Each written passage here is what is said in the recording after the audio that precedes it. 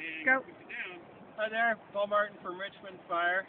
Uh, I was nominated by a good friend of mine, Kelly Moss from Richmond Fire, to take the uh, BC PFFA Burn Fund Challenge.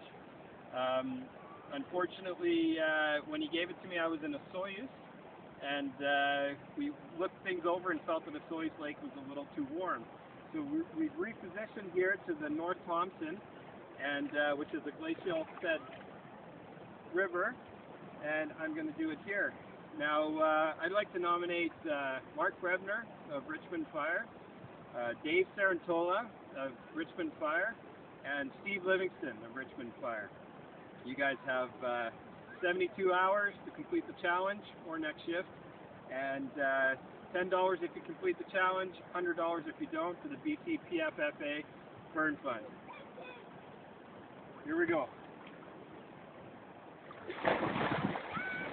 it's still shallow.